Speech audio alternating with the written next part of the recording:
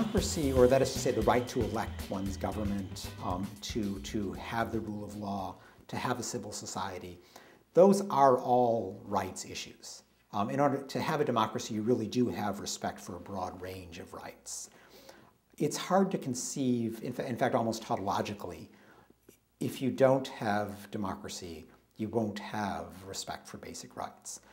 The real problem, though, is that many people take a, a, sort of a narrow conception of democracy and equate that with rights, and that equation is wrong.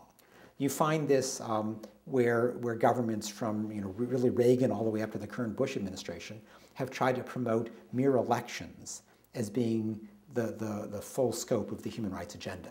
And if we can just, you know, get a government to hold an election, regardless of how corrupt it is, regardless of what's done to, to imprison the opposition or to shut down the opposition newspaper or to, you know, get rid of dissidents, we'll still call it a democracy because they held an election, and then everything's fine. We can ignore their human rights record. That superficial notion, which unfortunately tends to prevail all too frequently in Washington, um, that, in no, that has very little to do with, with a human rights agenda. But I think a more sophisticated, a fuller understanding of democracy is very compatible, indeed, to a large extent, equates with um, a, a complete human rights agenda.